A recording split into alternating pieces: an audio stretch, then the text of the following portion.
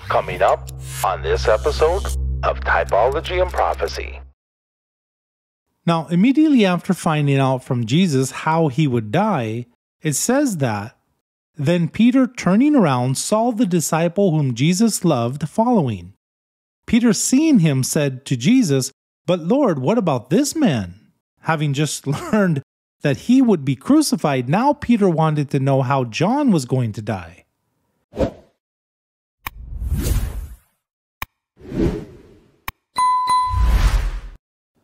Welcome to Typology and Prophecy. My name is Kyle. This is a podcast dedicated to the study of the Bible through the methodology of typology. Today we're going to take on the question why was John the Apostle the only one of Christ's disciples to die in old age, and most importantly, of natural causes? According to tradition, we understand that all the other disciples died a martyr's death save Judas, of course, who hung himself shortly after betraying the Lord. For example, Peter was crucified upside down, Andrew, his brother, was crucified on an X shaped cross, and it is believed that the Apostle Paul was beheaded in Rome. In Matthew chapter 16, Jesus said to his disciples, If anyone desires to come after me, let him deny himself, take up his cross, and follow me. Now, as already mentioned for Andrew and Peter, this ultimately ended up being a very literal invitation for them to join Jesus in the experience of dying by crucifixion. However, for most of us, the command to take up our crosses and follow Jesus, well, this has more of a spiritual rather than a literal application. Now, what is that spiritual application?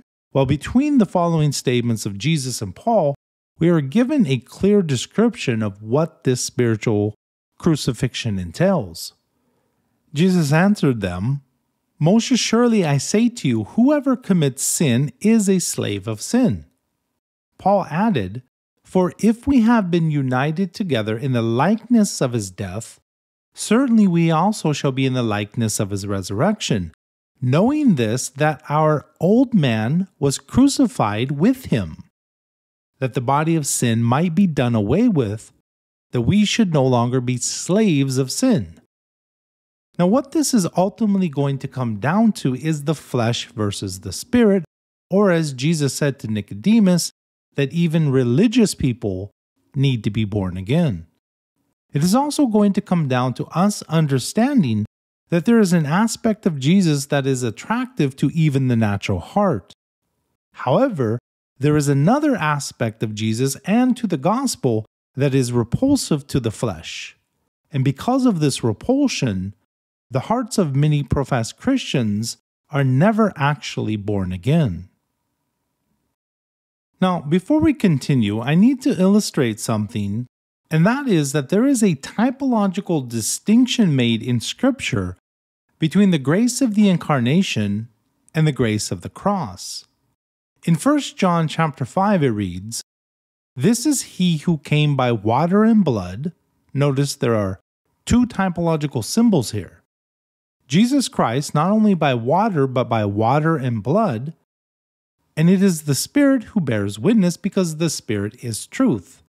In total, John uses three typological values the truth, which he attributes to the Holy Spirit, and the water and the blood, which he attributes to Jesus. Let's continue. For there are three that bear witness in heaven the Father, the Word, and the Holy Spirit, and these three are one.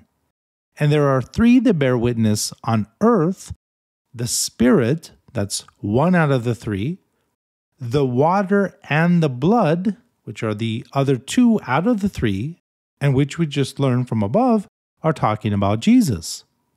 And these three, John says, agree as one.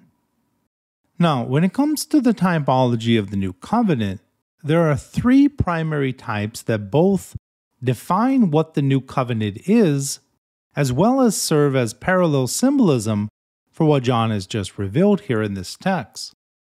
These three are the bread, the wine, and the oil. Now, considering that the oil is a symbol of the Holy Spirit, this would then leave the other two, i.e., the bread and the wine, to both represent Jesus.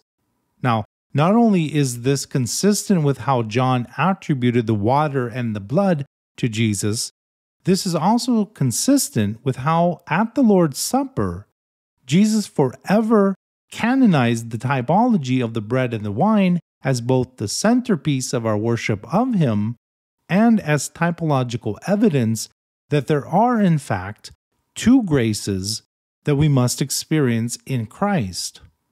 You see, if we want to be saved, we must experience all three graces the grace of the bread, the grace of the wine, and the grace of the oil.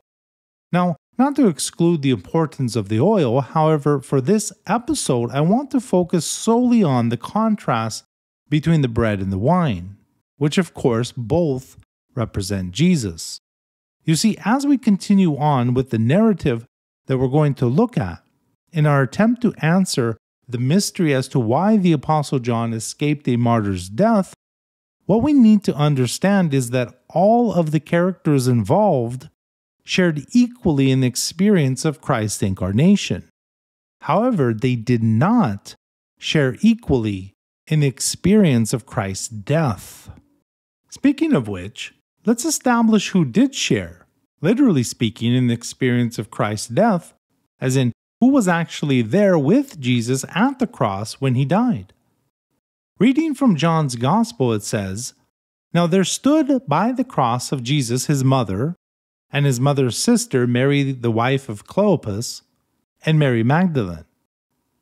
When Jesus therefore saw his mother and the disciple whom he loved standing by, that would be John, that's how John referred to himself as the disciple that Jesus loved, he said to his mother, Woman, behold your son. Then he said to the disciple, Behold your mother. And from that hour the disciple took her to his own home. So at the foot of the cross, there with Jesus were his mother and Mary, the wife of Clopas. These were his relatives. Now, from amongst all those who were his followers, we find that only Mary Magdalene and John were present at the cross. Let's first talk about Mary Magdalene for a moment. In the Gospel of Luke, we read Now it came to pass afterward that he went through every city and village, preaching and bringing the glad tidings of the kingdom of God. And the twelve were with him. And certain women who had been healed of evil spirits and infirmities, Mary called Magdalene, out of whom had come seven demons. What this verse is telling us is that Mary was a follower of Jesus. Of course, she was not the only one, as verse 3 mentions three other women and refers to a group of unnamed many others. Now, when it says that these women were followers of Jesus, this is not in the sense that they had just encountered him once and therefore they believed that he was the Messiah. That was true, they did believe he was the Messiah. But beyond just that, these women, and specifically we're focusing in here on Mary Magdalene, they followed Jesus around from city to village, hearing his preaching, seeing his miracles, and as it says here in verse 3, provided for him from their substance. Now, given this hint of information, it is likely that Mary Magdalene was a woman of means. From a purely financial standpoint, this would mean then that she was not some charity case who was following Jesus around, living off of his good graces.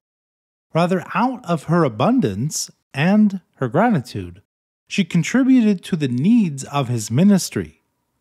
You see, what this story teaches us is that when somebody of means is delivered from the bondage of demonic possession, all that they have, in gratitude for said deliverance, they freely offer in service to their Lord. However, when an individual of means has not yet been delivered from sin, let alone demonic possession, there is often a lack of attraction and a willingness to be set free, specifically because of those means. For example, in contrast to Mary, who did follow Jesus and was actually present at the foot of the cross when he died, there was another individual, also of means, who Jesus had given the same invitation to. Of course, we're talking about the story of the rich young ruler, who came to Jesus asking, What shall I do that I may inherit eternal life? Now, Jesus initially referred the young man to the Ten Commandments, which the young ruler replied, Teacher, all these things I have kept from my youth. Then Jesus looked at him sternly and was offended and condemned him to hell for being a legalist. Oh, wait. Is that not what it says? Hmm. Look, this may be hard for the anti legalists out there, but Jesus wasn't triggered or offended by someone who kept the Ten Commandments. He did not berate him as a legalist. Rather, it says, Then Jesus, looking at him, loved him. But he also added, One thing you lack go your way and sell whatever you have and give to the poor, and you will have treasure in heaven. And, this is the important part, come, take up the cross and follow me. Jesus loved this young man like he loved Mary, and he invited him to both follow him and take his place beside Mary at the foot of the cross. However, this rich young ruler was not there at the cross when Jesus died, because unfortunately it says he was sad at this word and went away sorrowful, for he had great possessions. I guess between Mary and the rich young ruler, the moral of the lesson is it's easier to be saved from demon possession than it is to be saved from the possession of our riches. Look, the rich young ruler will not be lost because he was a legalist. No, rather, he will be lost because of his love of money. You know, we should always be mindful of Christ's counsel to the church of the Laodiceans. He said, I know your works, that you are neither cold nor hot. I could wish that you were cold or hot. So then, because you are lukewarm and neither cold nor hot, I will vomit you out of my mouth. Now, why were they lukewarm and in danger of Jesus vomiting them out of his mouth? He's speaking to the church here, by the way. It says, Because you say, I am rich, and have become wealthy, and have need of nothing, and do not know that you are wretched, miserable, poor, blind, and naked. Jesus told them, I counsel you to buy from me gold refined in the fire, that you may be rich. We need to understand this. The only way to buy the gold that Jesus told us to buy from him is through the fire that is us picking up our own crosses and following Jesus to where he died on his. However, as Jesus illustrated with regards to the rich young ruler, and as he stated here in his rebuke to the Laodiceans, the love of money will be the primary reason that many will not accept this invitation and will not be found at the foot of the cross. Was this not the very reason why Judas was not at the foot of the cross? It says, Then Mary took a pound of costly oil of spikenard, anointed the feet of Jesus, and wiped his feet with her hair, and the house was filled with the fragrance of oil. But one of his disciples, Judas Iscariot, Simon's son, who would betray him, said, why was this fragrant oil not sold for three hundred denarii and given to the poor? This he said, not that he cared for the poor, but because he was a thief, and he had the money box, and he used to take what was put in it. Judas was not at the cross because to him, thirty pieces of silver was more valuable than the Lord God Almighty. Out of all those who could have, and I would argue should have been there, it was Mary Magdalene at the foot of the cross, a woman of means and a woman for whom Jesus had cast out seven demons. I guess after that type of deliverance, one could say that she was not about to leave Jesus aside, even if it meant standing with him at the foot of the cross. But on the flip side, I guess we could also say, in regards to those who were absent from the cross, that they had not yet experienced that type of deliverance that Mary had. Perhaps they were too focused on their desire to be delivered from the Romans and who would be the greatest in the coming kingdom that they had not yet considered their need for the deliverance from sin. In the following verse, I want you to notice something. I want you to notice the honor that Jesus bestowed upon Mary Magdalene. It says, Now when he rose early on the first day of the week, he appeared what? That's right.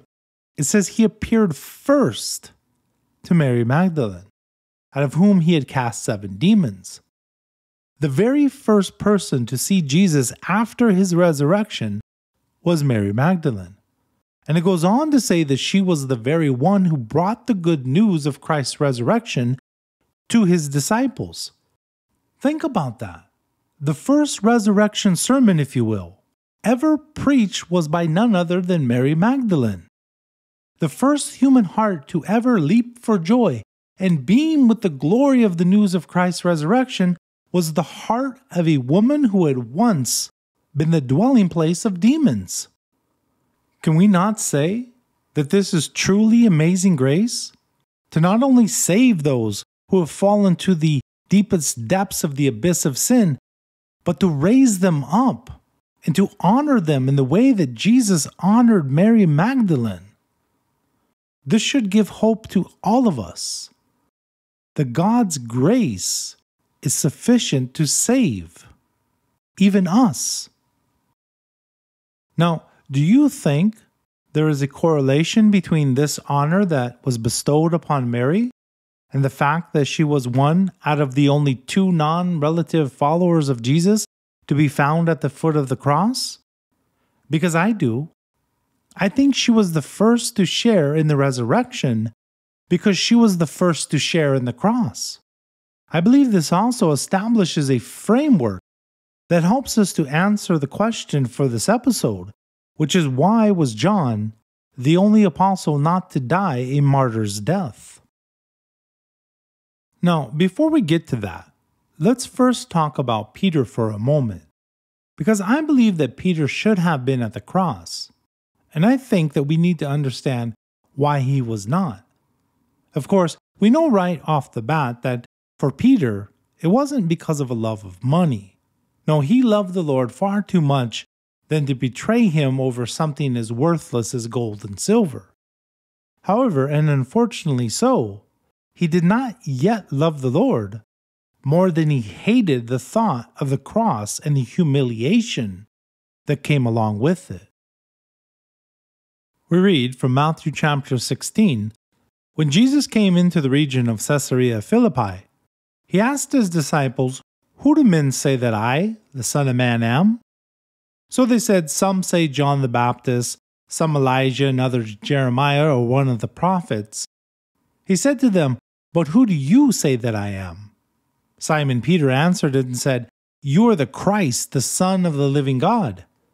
Jesus answered and said to him, Blessed are you, Simon Barjona, for flesh and blood has not revealed this to you, but my Father who is in heaven.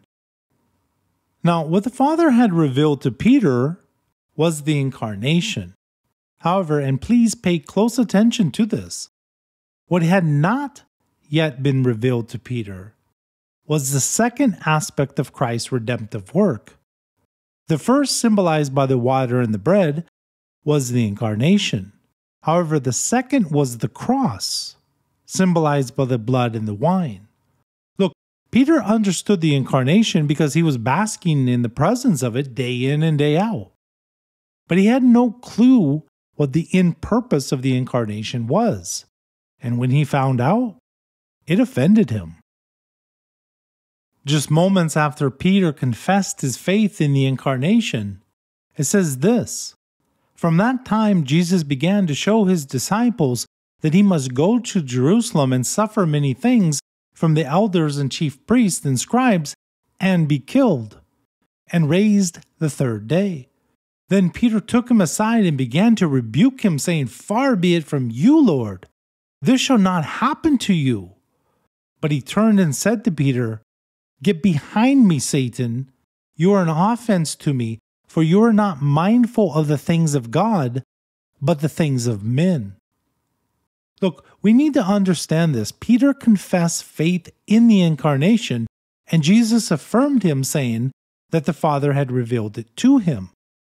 Yet at the exact same time, Peter refused to accept the cross, and Jesus rebuked him, saying, In addition to get behind me, Satan, that Peter was mindful of the things of men. In other words, Peter had the mind of the flesh, and therefore he was moved and impassioned by the things of the flesh. Paul said, For those who live according to the flesh set their minds on the things of the flesh, but those who live according to the Spirit, the things of the Spirit. In other words, like Nicodemus, Peter, even after fully confessing faith in the incarnation, still needed to be born again. In Peter's experience, there was a gap between his acceptance of the incarnation and his surrender to the cross. In fact, I would argue that there is a time in every Christian's experience when this same gap exists. There are many in Christendom today who profess faith in Jesus as the Son of God, but like Peter, they want nothing to do with the redemptive work of the cross. Why? Because it involves the death of their old man. Immediately after Jesus rebuked Peter, he said, If anyone desires to come after me, let him deny himself, take up his cross, and follow me. The Apostle Paul explained in more detail exactly what this looks like in the Christian life. He wrote, What shall we say then? Shall we continue in sin that grace may abound? Certainly not. How shall we who died to sin live any longer in it? Or do you not know that as many of us as were baptized into Christ Jesus were baptized into his death? That's the taking up of the cross that Jesus was talking about. Therefore, we were buried with him through baptism into death, that just as Christ raised from the dead by the glory of the Father, even so we also should walk in newness of life. That's what it means to be born again. A new life lived in the Spirit, where our minds are set on the things of the Spirit and not as Peter's was at the time on the things of men and the things of the flesh.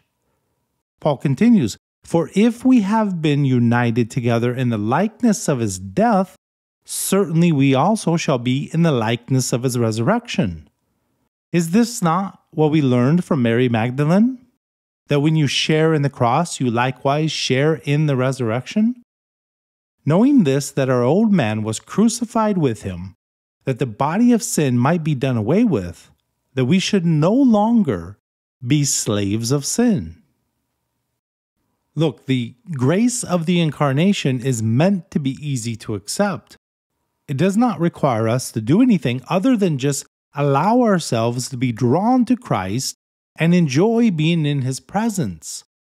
That's why sinners like prostitutes and tax collectors felt comfortable being in Christ's presence. The incarnation is literally God with us. It does not require us to work our way up to God, but rather just accept the fact that He came down to us. Look, I don't know what the exact number is, but I would say that something like 90% of the four Gospels is all about the story of the incarnation. It's the story that tells us, like no other, exactly who God is and what He is like. And the primary purpose of the story of the incarnation is both to tell and to show you that God loves you. Yes, just the way you are. However, you have to know that this is coming. He also loves you way too much to leave you just the way you were when you first came to Him. While He did not condemn the woman caught in adultery, He did tell her, Go and sin no more. The true gospel of Jesus involves both the bread and the wine, both the incarnation and the cross. But unlike the incarnation, which again is attractive and easy to accept, the cross, not so much. The cross is the hard part. On the evening before his trial began, Jesus tried to warn Peter how he was about to fall from grace. And probably more importantly, how Jesus would be there to welcome him back after his repentance. It reads, And the Lord said, Simon, Simon, indeed Satan has asked for you, that he may sift you as wheat. But I have prayed for you that your faith should not fail, and when you have returned to me, strengthen your brother. But he said to him, Lord, I am ready to go with you both to prison and to death. Look, Peter was sincere. He meant every word that he said. Well, that was, of course, until a little servant girl ridiculed him for being a follower of Jesus. His sword was still wet from the blood of the ear he had just cut off in defense of his Lord, when with cursing and swearing he denied Jesus, just as Jesus had predicted that he would. You see, Peter believed what he said, while he still thought there was glory to be gained. Look, glory has always been attractive to the flesh. That's why when the message has been that by sword we will defeat the enemies of God both in the physical and in the spiritual realms, there has never been a shortage of crusaders ready to fight for absolution. Starting with Peter himself, who was the first ever to draw the sword and to strike in defense of our Lord. But you know what? Peter was also the very first ever to deny the cross.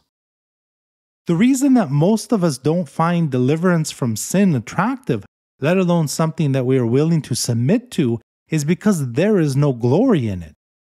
Rather, and just as it was for our Lord Himself, there is only the prospect of shame and humiliation to be found in the death of the cross. That shame and humiliation overwhelmed Peter. And again, with cursing and swearing, he denied our Lord, his Lord, the one he was ready just moments before to fight to the death for. After his resurrection, Jesus appeared to his disciples who were fishing at the time. It says, So when they had eaten breakfast, Jesus said to Simon Peter, Simon, son of Jonah, do you love me more than these? He said to him, Yes, Lord, you know that I love you. He said to him, Feed my lambs. He said to him again a second time, Simon, son of Jonah, do you love me? He said to him, Yes, Lord, you know that I love you. He said to him, Tend my sheep. He said to him a third time, Simon, son of Jonah, do you love me? Peter was grieved because he said to him a third time, Do you love me? And he said to him, Lord, you know all things. You know that I love you. Jesus said to him, Feed my sheep. You see, it was because Peter had denied him three times that Jesus asked him three times, Do you love me? I believe it is also because Peter was absent from the foot of the cross that Jesus likewise said the following Most assuredly I say to you, when you were younger, you girded yourself and walked where you wished. But when you are old, you will stretch out your hands, and another will gird you and carry you where you do not wish. This he spoke, signifying by what death he would glorify God. And when he had spoken this, he said to him, Follow me. First of all, let's acknowledge and praise God for the abundance of his grace in restoring Peter to the ministry that he had called him to. For this indeed gives us hope when it comes to our own shortcomings. However, as verse 18 and 19 show, Peter was not let off the hook when it came to the issue of the cross. For Jesus revealed to Peter that when the time came for him to die, he would die by crucifixion just as he himself had. When that time did come, Peter, feeling unworthy to die in the same manner as did his Lord, requested to be crucified upside down, which was honored. Look, on the one hand, the cross can represent a multitude of things when applied to the individual lives of Christ's followers. We do not all struggle with the same things, nor must we all suffer the same trials and tribulations. However, with regards to the essential truth that applies to everyone who desires to be saved, the cross represents the death of the flesh.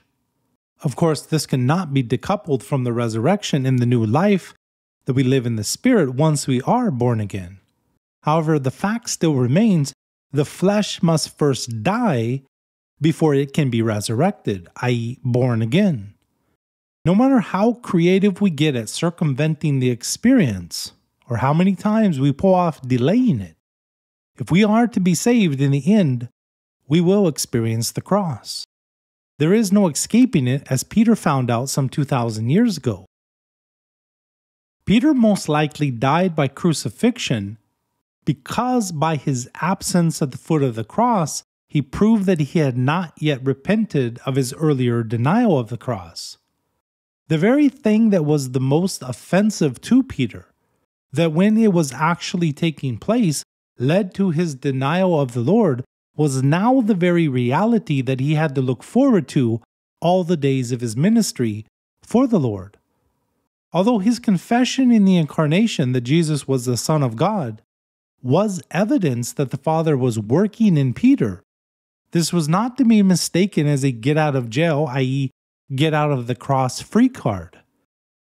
Yes, it is true that we first enter into the promise of salvation through the grace of the incarnation. If you don't start there, you won't be saved. That's why no one who is following an Arian gospel will be saved because they deny the incarnation. But make no mistake about this Jesus said that man shall not live by bread alone, which means that we are not saved by faith in the incarnation alone. Rather, we need all three the bread, the wine, and the oil. And remember this the Apostle John said these three agree as one, meaning they come as a package deal. No one has the authority to teach that only one of the three essential graces is salvational, while the other two are merely optional accessories. Now, immediately after finding out from Jesus how he would die, it says that then Peter, turning around, saw the disciple whom Jesus loved following, who also had leaned on his breast at the supper and said, Lord, who is the one who betrays you? Peter, seeing him, said to Jesus, But Lord, what about this man? Having just learned that he would be crucified, now Peter wanted to know how John was going to die. However, Jesus said to him, If I will that he remains till I come, what is that to you? You follow me. Then the saying went out among the brethren that this disciple would not die. Yet Jesus did not say to him that he would not die. But if I will that he remains till I come, what is that to you? This is the disciple who testifies of these things and wrote these things, and we know that his testimony is true. In other words, John is telling us that he is speaking about himself here. You see, in the last chapter of the Gospel of John, the issue of both Peter's and John's deaths come up. I believe that Peter died the death of the cross because he refused the first time to accept the cross of Christ. Same thing with the other nine disciples who were nowhere to be found once the trial and the passion of Christ began. Out of the twelve, John was the only disciple of Christ that was there with him at both his trial and at the foot of the cross. It was there at the cross that Jesus entrusted to him the care of his own mother. I believe that John was the only one to die of natural causes because he was the only one who accepted and experienced the cross the first time around. And like Mary Magdalene was the first to learn about and then tell the church about the revelation of Christ's resurrection, so likewise in his later years, Jesus returned to John on the island of Patmos, and John was the first to learn about and to share with the church the revelation of Jesus Christ. Look, in closing, my purpose is not to tell you, or myself for that matter, that we should get it right the first time, or else it will be harder later on. There may be times when that is true, but the frank reality is that the odds of us getting it right the first time are not in our favor. The point here is not about achieving a perfect record. However, Make no mistake about it. What God has ordained as necessary for our salvation, it will come to pass. We can resist it, delay it, and try and negotiate our way out of it. But at the end of the day, when we finally choose to submit, God will be there, patiently waiting, to lay the cross of His choosing upon our shoulders. So, yes, I would say it is better to submit to the cross sooner rather than later. But even with that said, we should never despair over our past failures. For as Paul said, where sin abounded, grace abounded much more. Well, that would do it for this episode of Typology and Prophecy. If you stuck with me to the end, you are super awesome. Please leave me a comment down below and let me know what you think. If you were blessed, please smash that like button and consider supporting me by purchasing one or even both of my books. They're available on Amazon. Links are in the description and pinned comment below. Thank you for joining me today and God bless.